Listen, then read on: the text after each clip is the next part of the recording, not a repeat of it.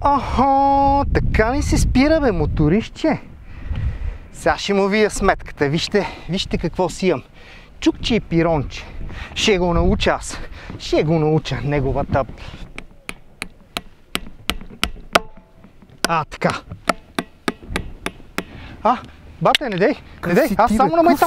Не, не, не, не, Също малко. не ме удари, не ме удари. Е, стана каквато стана. Вече си имаме пиронче в гумата.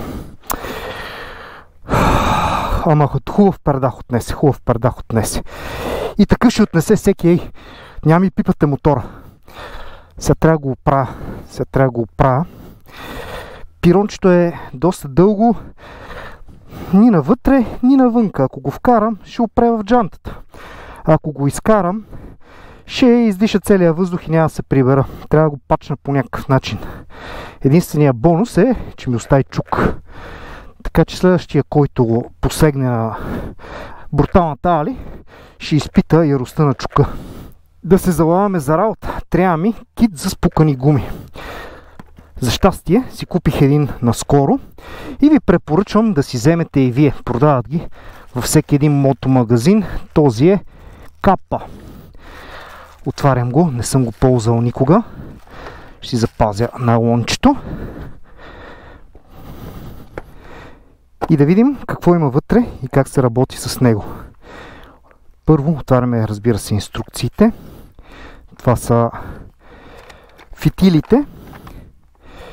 Вадим пирона, разширяваме дупката, слагаме фитила, пъхаме на две трети и издърпваме после с нощчето. Изрязваме излишната част, да не увлече някъде по пътя и пълним с въглероден двуокис от тези бутилки. И първият инструмент, който ни трябва е това. Какво трябва да се направи първо? Да се извади пирона. Но това трябва да стане бързо, за да не издиша въздух и да се разшири дупката. Вадим и пъхаме. Не е много лесно, но с няколко бързи движения. Опа! Уу, как издиша. С няколко движения се справяме успешно. Оставям инструмента вътре, за да не издиша въздух. А през това време да приготвим фитила. Вадиме втория инструмент. Фитилчето. То е доста лепкаво. Е, каква гняз.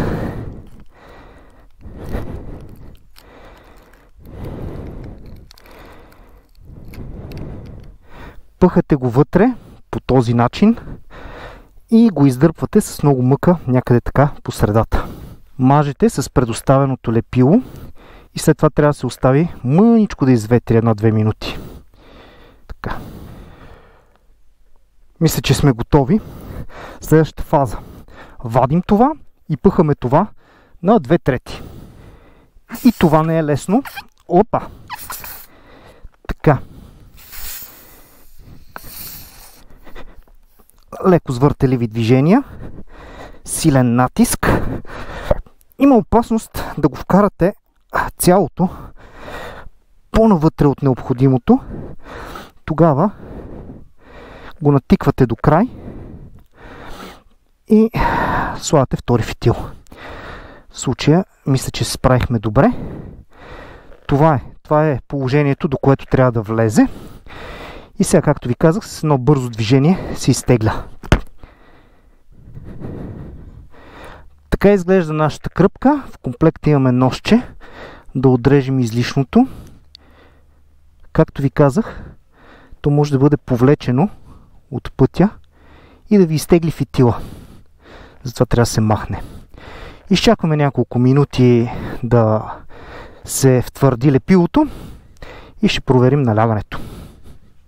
С мен нося портативен манометър да видим колко е спаднало налягането. Задната гума на този мотор фабрично и дава, че трябва да е на 2,3 бара. А тя в момента е на 1,5. Не, че не може да ме закара до вкъщи, но е хубаво да вкарам още малко въздух за безопасност. Това ще стане с ето тези патрончета. Трябва ми и тази част. Честно, не знам как се работи, но би трябвало да е common sense. Това се завива тук. Това се завива тук. Мисля, че го вкарах. Сега да пробием самия патрон. Вътре има една игличка. А, това червеното е за да не ви замрази пръстите. Така, пробихме го и пускаме въздуха вътре. Готово. Май се изпразни. Завиваме. А, това не е толкова студено. И махаме празния патрон. Интересно ми е да разбера колко налягане предоставя един патрон на тази голяма гума. Преди бяхме на 1,5. Нулираме и мерим. 2. 2. Значи, може би ми трябва още едно патронче. Ако случайно нямате пълнители с въглероден двокис, може да спрете някой автомобил да ви услужат с помпа. Винаги ще се намери някой да ви вкара малко въздух, след като сте затапили гумата.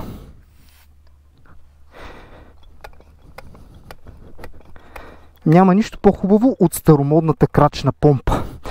Е, спестихме ампулките с въглероден двокис. Прибирам си ги обратно и пей сърце. Ако ми потрябват, са тук. Е, разбрахте ли какво трябва да направите, ако спукате гума на път и как да запушите дупката? Този плък е временен, въпреки че някои хора твърдят, че може да изкара хиляди километри, особено когато е в средата. Но аз трябва да си поръчам така или иначе нови гуми, защото тези са стари. Затова си позволих да си поиграя с тях. Какъв фън? Е, сега ще направим няколко слайда.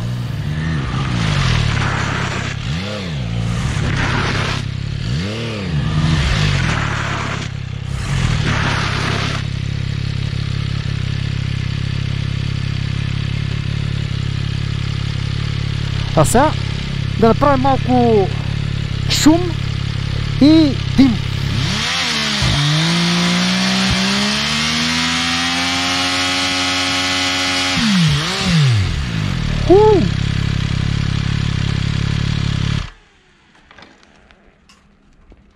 Е, това се вика бърнаут.